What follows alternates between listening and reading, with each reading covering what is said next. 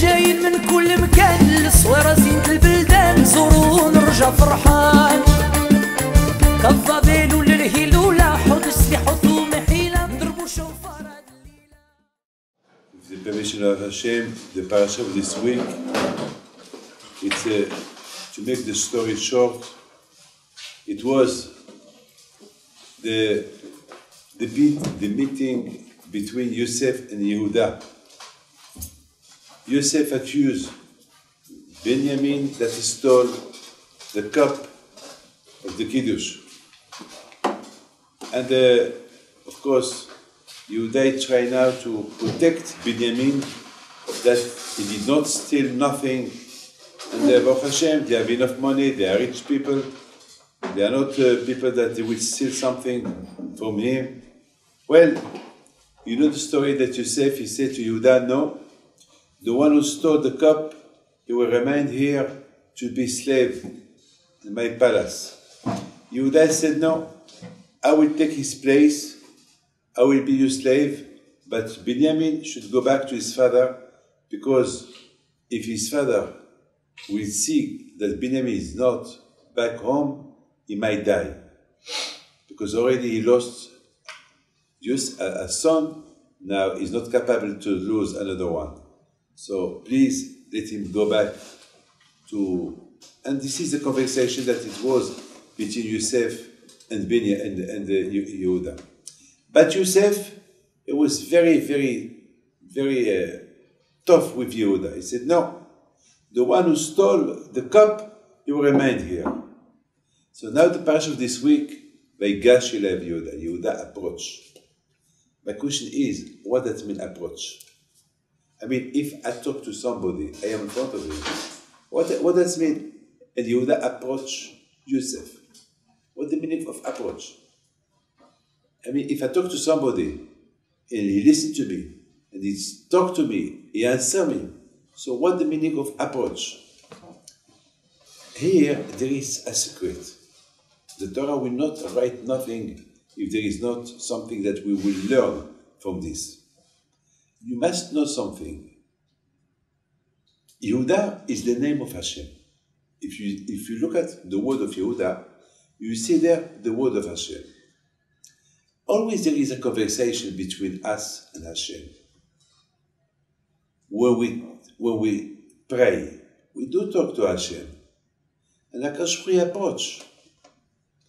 And uh, sometimes it's the Yehudi, Yehuda is the word Yehudi, a Jew. Sometimes the contrary is now is the Jew who approach to Hashem. Now this is the First, we have to understand that sometimes Hashem approach us to listen what we're saying to Him, and uh, the Jew as well, he approach HaKadosh Baruch Hu. But you should know that always the first one who approach the Jew is HaKadosh Baruch Hu. HaKadosh Baruch is always, he do all his best. With all what we can do, we can be bad people, always Hashem give us a chance, he approach to us. The problem is, is the Jew approach to Hashem. And this is what everyone here should uh, uh, learn. That every time a Jew should be ready to approach HaKadosh Baruch Hu. Because HaKadosh always is ready to approach you. HaKadosh always is ready. Now, are you ready? This is things that, of course, always there is a discussion between us and Hu. All the time. Hashem, he say, why do this? We always we have answer. We try to find answer to Hu. One thing we have to know, that we cannot beat HaKadosh Baruch Hu, all the answers that we can give him, Hashem, he has question about our answers. At the end, always Hashem is the winner. Because HaKadosh Baruch Hu, he knows everything. You, we cannot cheat HaKadosh Baruch Hu. We can't only cheat ourselves, but not HaKadosh Baruch Hu. So this is something that we have always to learn, that Hashem always approach a Jew. The Jew should approach HaKadosh Baruch Hu. When we come to do Amida, HaKadosh is already there. When you start to do the Amida, Hashem approach you to see, to listen to you, what you're going to tell him. So now Hashem want to listen. What you want to tell him? what kind of conversation you will deal, what you will deal with Hashem. This is something that we learn from this parasha. But there is something else. I heard yesterday from a, a rabbi who came to see me yesterday. He told me something incredible about what he said. Bitzhak Halevi Bibavit Shalom a big tzaddik. He said this. He said that what that means by Gashi Lav Yehuda. First is our question. What do you mean Yehuda approach uh, Yosef? He, says, he said something incredible. He said that up to now Yehuda, when he was talking to Yosef, he was talking to him in Hebrew. And Yosef, he did not speak Hebrew. It was always somebody in the middle who translate what Yehuda said. There was always somebody in the middle. Now, Yehuda approached Joseph. He said, Joseph, please, I don't want now somebody in, in between us, between you and me. I want to talk to you directly. I want to talk to your ears, directly. That means to be a king here in Egypt, you should know 70 language, and Hebrew include. And you are the king. So that means you understand Hebrew. So we don't need somebody in the middle. The same way that Paro knows 70 language, you as well, you know the 70 language. So why you talk to me? Why you don't want to listen to me? Why there is always somebody in the middle between you and me? Now I want to talk to you directly. This is the meaning by Rabbi Yehuda. That means that Yehuda now he approach Yosef and he said to Yosef, Yosef, you listen to me. I, I speak only Hebrew. I speak only Lashon HaKodesh. And I know you speak Lashon HaKodesh. Because there is a law in Egypt, to be a king in Egypt, you should know 70 language. And you are like Paro, you are like Paro. The same way Paro knows 70 language, you know the 70. So now I want to talk to you directly. So uh, Avodat Halevi said, why now Yosef? Why now Yehuda? You want to talk directly to, to Yosef, not to talk with somebody in the middle that will translate to Yosef. He said, Yehuda, he understood that now we have a, he has a big problem. Now Binyamin is accused that he stole the cup. Now there is a big problem. The problem that now that this king is very tough man. This this man is gonna take Binyamin. So he thought, let's maybe I have to try to, to talk to him nicely. דברים שיוצאים מהלב נכנסים ללב. Word that they come from the heart, they will go into the heart. So he thought Yosef Yehuda said, always when there is a rabbi who speak or give a speech, it's not the same like if everybody understands the speech or somebody translate the speech. The one translate the speech is not the same like the first one. So they said to himself, if there is only somebody that translates, he will not translate the same way I, I, I, I mean. So he said to Yehuda, Yehuda said to himself, you said, please listen, I have a big problem. I have a problem if I go home without Binyamin, my father he might die from sadness, from the pain. So please listen to my to my word. We know about it, there is a beautiful story. I, I tell you something. Yesterday, you remember last night, yesterday morning, we did a show here yesterday morning.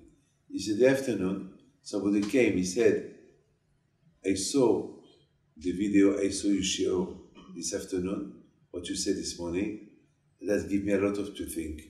You understand, sometimes the word, when you say the word nicely, the word that it come from the bottom of your heart, the word that you, you, you understand them, they may, it could be a light for somebody else to, to, to, to listen to them.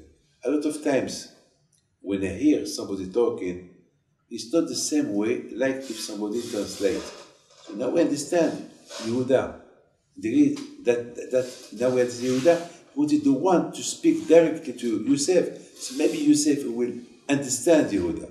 So now my question is, I have a big, big, big question. That means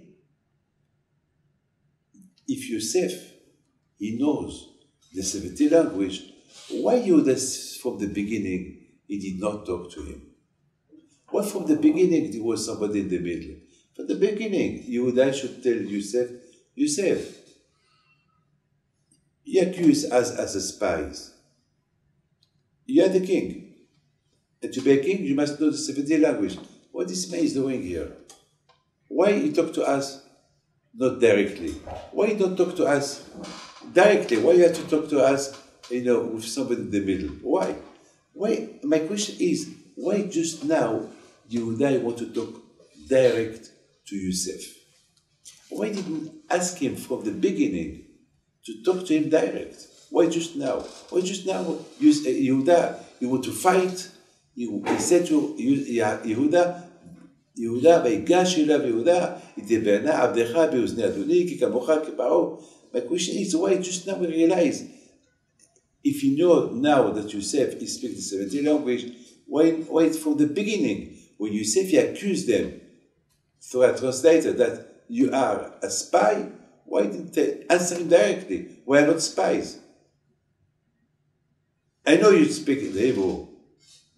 My friend, I would like to tell you this. One day it was Chafetz Chaim. I, know, I don't know if you know that or not. That uh, it was a, upon a time, you know, in Russia, they, they started to, there was a big gezerah. The government they did a big gezerah. I don't know if it, if it was the, because they wanted to take the Jews to the army or, or Shabbat. They wanted that the Jews will work on Shabbat. Uh, I don't remember, remember exactly what kind of big gezerah that was in, in Russia. The older rabbis, big admorim, big rabbis, they decided to go to see the king at that time. And at that time, you know, there were some Jews that they were not religious, that they wanted, when they saw that the, the, uh, the Orthodox people had, uh, they, have, they had a lot of big influence, they wanted to break them. Unfortunately, always uh, there is, from us, there is people who hurt other, their brothers, the Jewish people, unfortunately. So they went to the king, they said, yes, it's not fair that uh, those Orthodox Jews, uh, they do this, they do this. You have to, to, to force them to, to bring out a law that it should be, uh, they should do this kind of, to work on Shabbat, to open the, the doors, the, the shops on Shabbat, or take the children to the army. Well, that was a big zera. And the rabbis, they had to meet the king. They made an appointment with him to talk to him, to try to cancel this, this, uh, this bad gezerah. So who, they formed a delegation, and now they want to know who is going to be the speaker. They needed somebody who speak well, somebody who, who knows how to speak, to, uh, to have an influence from his talking to the king, and especially he must speak fluently Russian. And uh, they asked the Chafetz Chaim, do you have a leader who will take? No one answered. The Chafetz Chaim said, I will be the speaker. And he was an old man, and he speak only Yiddish. He doesn't speak nothing, only Yiddish. Only Yiddish. So they looked at him. You to be the speaker? Yeah. But the king, he don't speak Yiddish. He won't understand me. Who can tell the Chafetz Chaim what to do? The mission was uh, impossible. But Chafetz Chaim was a Gadol HaDor. He said, I will be the, the speaker. So they went with him. The day of the appointment, they arrived to the palace. They knew about the appointment. They went to the room, and the king came. And Chafetz Chaim approached the king, and he started to speak in Yiddish. And he was crying, Shabbos, Shabbos, Yidden. The king was listening. After a few minutes, the Chafetz Chaim, he went to the king to, to, to give him his hand. And the Chafetz Chaim, the king, he told the man, to the rabbis, is anyone here speak uh, Russia? So the rabbi said, a little, yeah, a, a little. He told them, tell him to this rabbi, understand. And, the, and the, that Gzera, I will take it off. So they ask the Chafetz Chaim, do the king understand Yiddish? He said, no, but he understand my heart. My word that I told him, they came from my heart. There is a language of the heart. And there is a language of the mouth.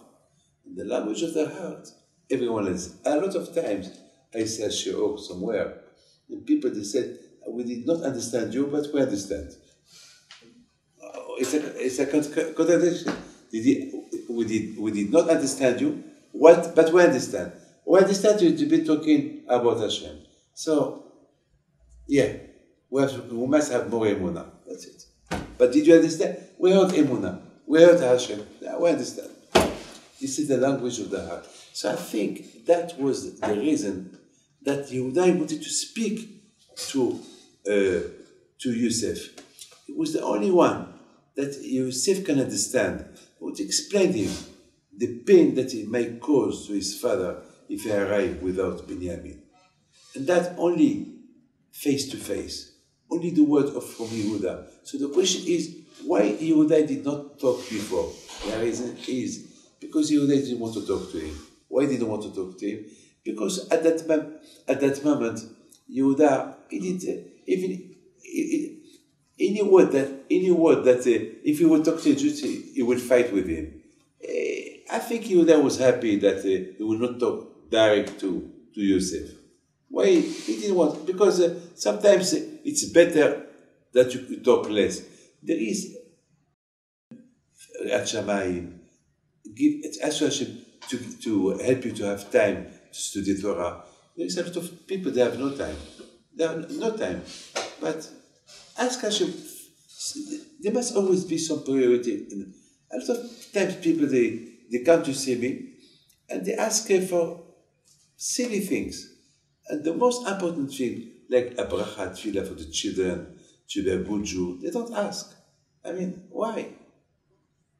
Why do you need all this money, all this parnasa, all what you are- asking if your children they don't do, do they don't go there Hashem? What do you need all this for?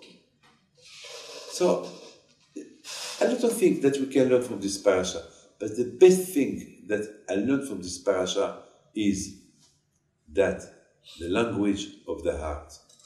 And this is something that we have. Even when we talk to Hashem, Lev Nishbar Venidkeh. When we come to pray to HaKadosh Baruch Hu, we should pray to HaKadosh Baruch Hu with kavanah, with the heart, with, uh, with this language.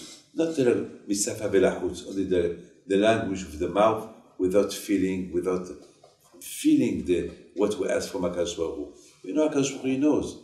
Don't, we don't, uh, we, we cannot uh, play games with Hashem. Hashem he knows when we pray to Him the way we are praying to Him. If Behemet, our tefillah, it's a Behemet, it's, it was necessary, we just would pray, da, da, da, da, uh, you know, when I used to pray, I have to put the tefillin, anyway I have to wake up, anyway, uh, I don't care. No, Hu, He knows. And Hashem is a little bit sad when, when you treat Him like that. Because He don't treat you like that in the morning when you, you wake up When you sleep, הקדוש ברוך הוא, you don't sleep.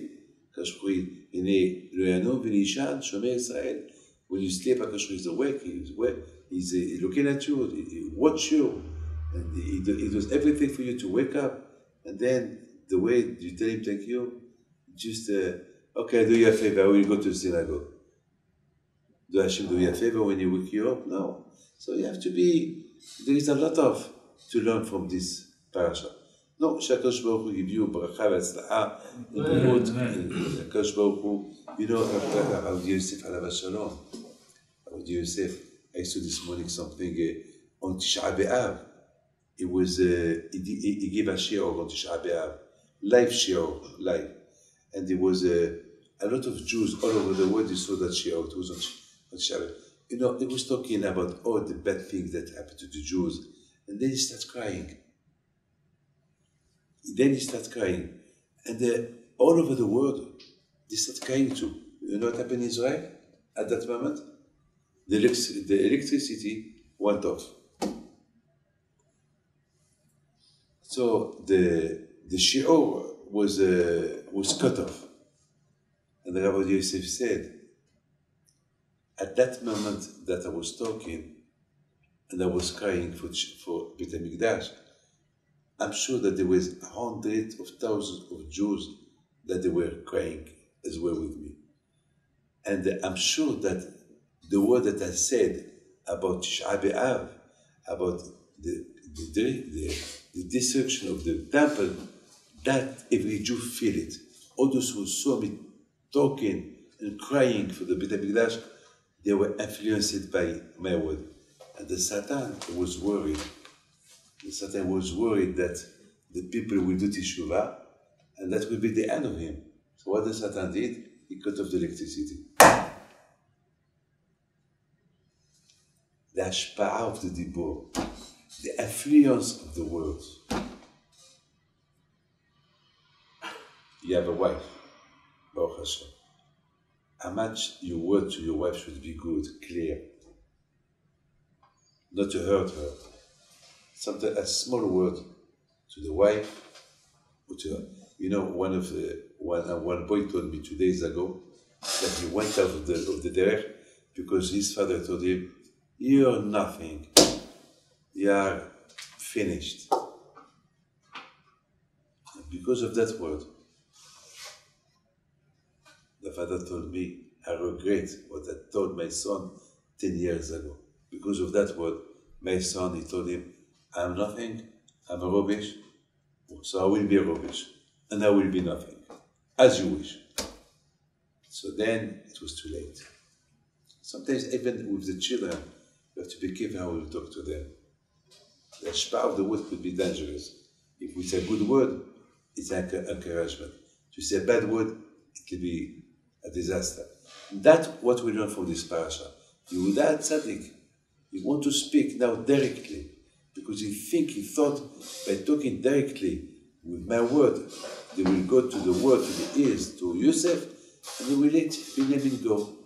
שהשם ייתן לכם ברכה והצלחה.